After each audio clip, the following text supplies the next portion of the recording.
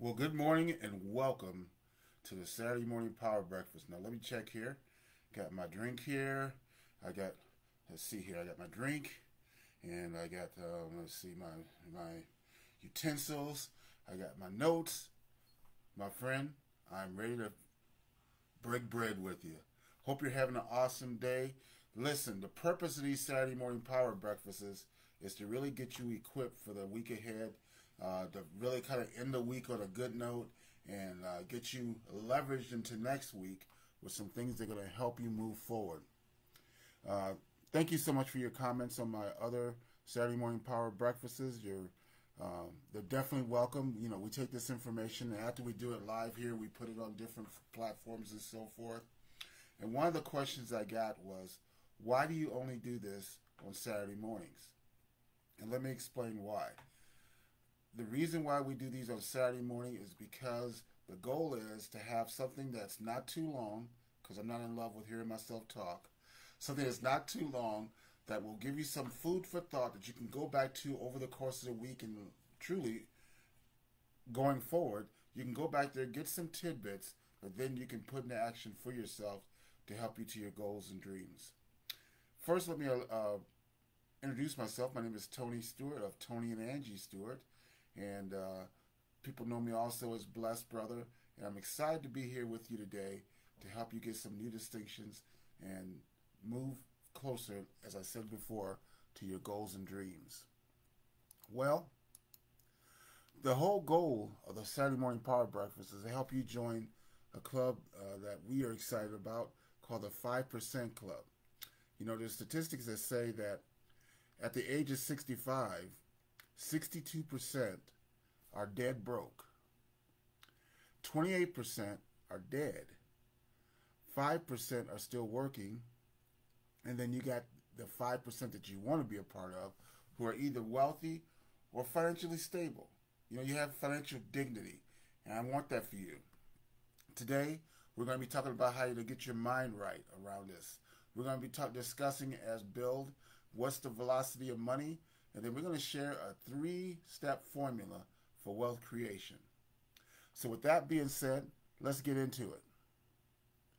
As we've mentioned before, I keep saying we, I, as I've mentioned before, I'm speaking on behalf of Angie too, but as I've mentioned before, Earl Nightingale talks before uh, a lot about the fact that success is the progressive realization of a worthy ideal. And what's exciting about that is that as you take any step towards your worthy ideal, your worthy goals, you are a success, my friend. So be happy about that now. But it's not something you have to wait for sometime in the future. You say, well, when I achieve this or when I do this, I will be a success. No, my friend. The second you start taking those steps to move towards those goals and dreams, you are successful. And dare I say, even for watching this, you are a success. Why? Because my goal here is to give you information. You know, I've invested thousands and thousands, I mean, tens of thousands of dollars in learning from the best in terms of business success, spiritual success, how to move forward in your life in a, in a successful way. And my goal here is to not only have invested that, not only to have learned it and applied it in, a, in my life for great, you know, to great effect, but also to teach you, to give you some of those skills. So, number one, you don't have to make those same investments. Number two, you could add this to whatever investments you're making in knowledge, and again, give you an edge in moving forward. So, again, success is the progressive realization of a worthy ideal. Now, what's important in knowing about this? You know, we know we see the progressive realization. That means taking daily steps. Worthy means that it's something good, right? But I think where most people trip up has to do with getting their mind right. And what I mean by that is truly dreaming. You know, if you don't have that worthy ideal, if you don't have that goal that you're working for, then how can you move toward it? You know, over the last few years, there's been so much chaos and stuff in the world that people have just been trying to just keep their heads above water. We hear about inflation. We hear about recession. We hear about all these things going on. And it can make it difficult to dream But I'm encouraging my friend to go ahead and dream. It's time to get your hopes up. You know, uh, you may have some loved ones in your life who says, "Oh, please don't get your hopes up. I don't want you to be disappointed." Let me tell you something. There is no one who's ever achieved anything without getting their hopes up. So it's time to get your hopes up. You know, you might be going to visualize. You may have a uh, desire to have become job optional. What does that mean? That you may stay or keep the job, but you know you don't have to be there. How much more effective would you be if you were on your current job right now and you knew that you didn't have to be there? You're there because you want to be. That's being job optional. I want that for you, my friend. And then, you know, I, I took a picture of someone's dream board here. And uh, this is cool. It has some good stuff on it. But the only thing I didn't like was the lower left hand corner. Because that lower left hand corner has a lotto, hitting a lotto. Let me tell you something, my friend. You hit the lotto when you decide to do something more positive with your life.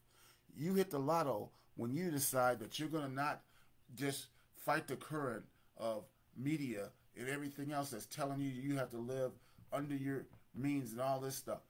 You're fighting, you hit the lotto when you understand that you can think and grow rich. You can learn some new distinctions that'll move you forward. That's your lotto. And it can lead to all these other things that this person put on their dream board. I love what Grant Cardone says. He says, close the distance between you and your target. And when he said this, I heard him. Uh, he was watch. I was watching him do a video, and uh, whether you like Grant or not is beside the point. You can learn something from almost anyone if you're willing to say, "Is this person an example, or is this person a warning?"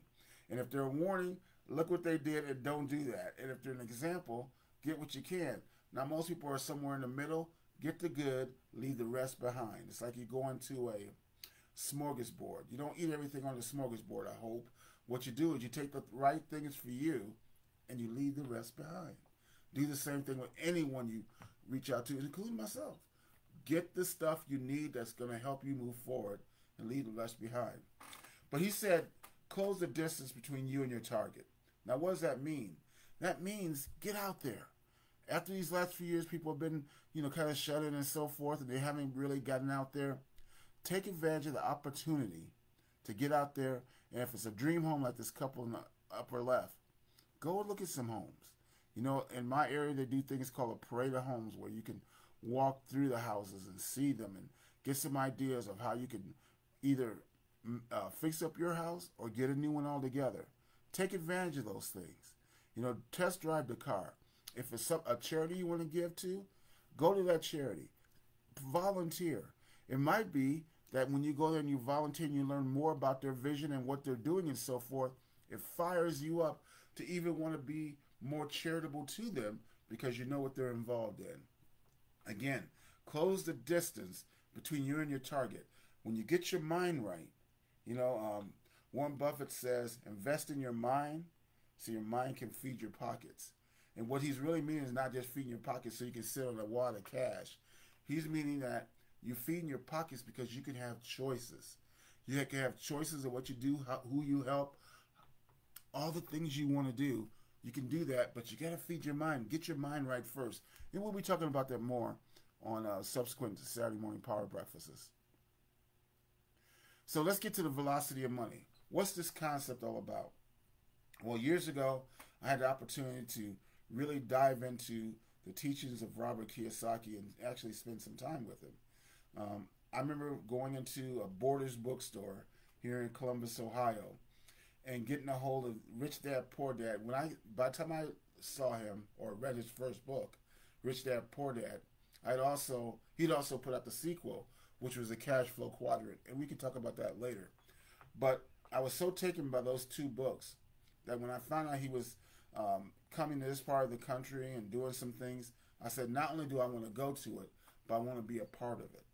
So I actually worked with him and, and working those events and so forth, actually got an opportunity to actually work some stands for him and sell some product and so forth, which was cool because by then I was so convinced that a lot of the stuff that he was saying was true that I wanted to number one help other people like hopefully I'm doing right now. help other people with that information. Well, one of the concepts he taught me was the velocity of money. And the velocity of money is very simple. When you put your money into something, your mindset needs to be how fast you can get that initial investment back. And let me give you an example of this. I work with a number of people, and for years I've traded the markets. And what I encourage people to do when I'm working with them and they say, I want to be a markets trader, I said, that's great. Do this. Put uh, first learn the skill. You know, learn the skill, maybe use a demo account or something like that. Learn the skill that's needed to be successful in that with that vocation, to be effective with that particular strategy. Once you've gotten that uh, to a point where you've taken your account, maybe your metric is that you've doubled your play account, your your your uh, phony money account, right? You double it from a thousand to maybe two thousand.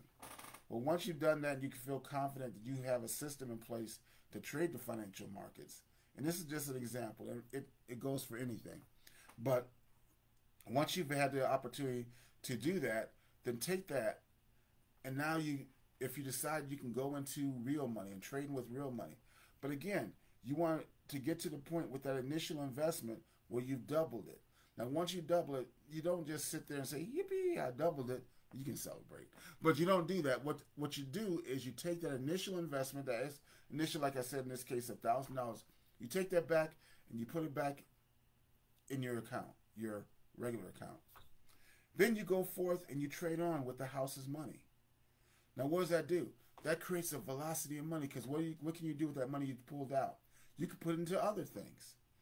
And what happens by and large is that if you have that mindset that you're always going to be not only investing, but determine how fast you can get that initial investment back, and then taking that initial investment and putting it in something else, you're starting to create a velocity of money concept within your finances. And as you do that, it positions you to get into that 5% club we talked about earlier. So it's all about the mindset of not only being a good investor, I think we all understand the need to be a good investor, but don't be an investor just to let it sit there. Think about when you can get that back and put into other things. Now, I'm going to show you in a moment why that's so important. But before I do, you might be saying, well, listen, I'm living paycheck to paycheck. I can't see how I can get any money to invest. So I have a problem with number one.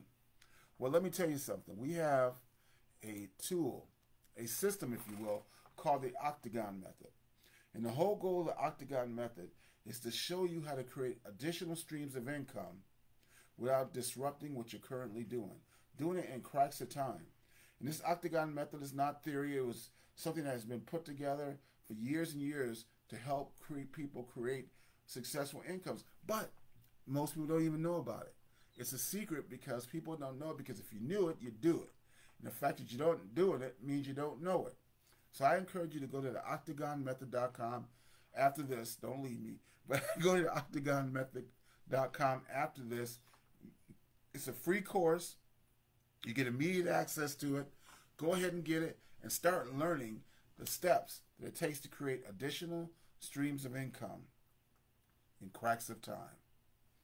All right, so speaking of Grant Cardone, he has this formula he calls the wealth creation formula.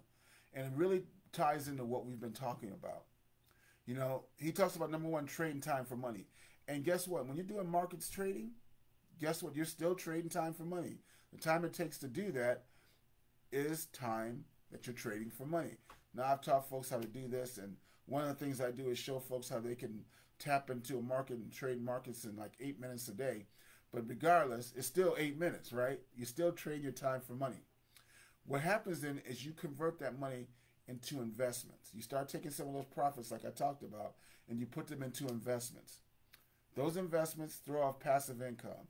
Again, a concept that goes back to Kiyosaki and Rich Dad Poor Dad, where he talks about how the rich put their money into things that give passive income. And then here's the thing you use that passive income to fund your lifestyle. Now, what's cool about this is the fact that he talked about how, and this is Robert Kiyosaki now, he talked about how if he had the money to buy a car, the cash in his hand, instead of buying that car, his mindset was that you take that money and use it to buy a car wash. All right, just give you an example. That's an investment. And then, as the car wash made money, he would use those profits to pay for the car. So at the end of the time, he would have not only the car, but he'd also have the car wash. Get it? So he's using passive income to fund your lifestyle. And you might say, well, that sounds great, but how do I get started with all that? Well, we talked about that, but the key is get uh, first get the idea. The idea of taking money and be able to put into investments. Find ways to use cracks of time, to use cracks of time to start developing additional streams of income so you have the ability to do number two, which is convert that money to, in, to investments. So I hope that's helpful. Um, again, the octagonmethod.com is where you're going to learn how to do that. So I encourage you to go there, check that information out. Like I said, it's free right now. Take advantage of it, get it. Um, I think when you go to octagonmethod.com, you'll be blown away for all the stuff you can get for free at that website. So definitely do that. You know, in the future, we're going to be talking about now that you have this basis. How do you put this into effect? How do you put together a daily method of operation that's going to help you put all these things that we're talking about into effect so that it's not overwhelming. So that you're not just getting all this information, you're sitting on it, and you're not using it to move yourself into that 5% club.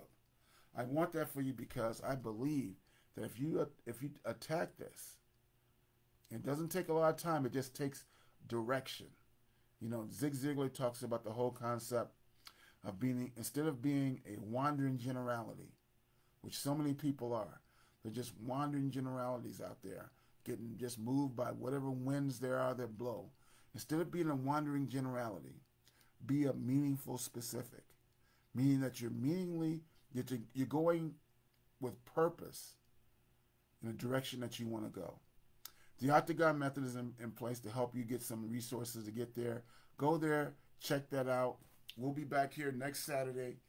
Be blessed and make not only today, but make this next week a masterpiece. We'll talk to you soon. Bye bye now.